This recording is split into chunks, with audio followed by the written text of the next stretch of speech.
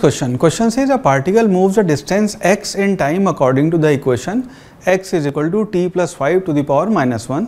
the acceleration of the particle is proportional to option हैं velocity to the power one by two distance का square या distance to the power minus one by two या फिर velocity to the power two by three again simple सवाल है। यहाँ पे अपने को दिया हुआ है एक्स की जो वैल्यू है that is equal to one by t plus five हमें बताना है कि आपका एक्सलेशन जो है वो कितना होएगा या उसकी प्रोपोर्शनैलिटी बतानी है। uh, इस केस में अगर इसको हम वेलोसिटी निकालना चाहें तो वी को हम लिख सकते हैं d x by d t again differentiation जब इसका करेंगे टी प्लस फाइव का uh, इसको आप लिखेंगे t plus five to the power minus one इसका डिफ्रेंसिएशन करके आएगा minus one divided by t plus five का स्क्वायर ये आपकी आ जाएगी वेलोसिटी राइट इसी को एक बार फिर डिफ्रेंशिएट करेंगे एक्सलेशन होता है d v by d t तो इसको हम फिर डिफ्रेंशिएट करेंगे तो ये आएगा आपका minus two divided by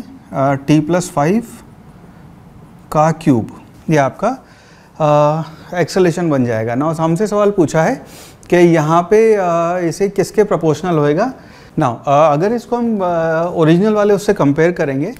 सो हम यहाँ पे लिख सकते हैं acceleration will be equal to minus two और ये आपका टी प्लस फाइव जो है, ये है आपका एक्स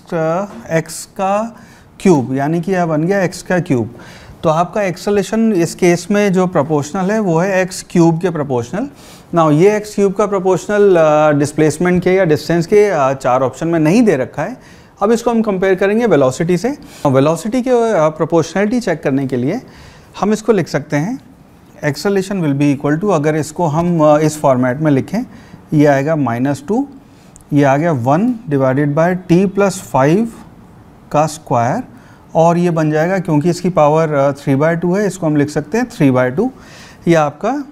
ये टर्म बन गया है, और ये आपकी वेलोसिटी है। सो एक्सलेशन अपना हो गया will be equal to minus two velocity to the power three by two.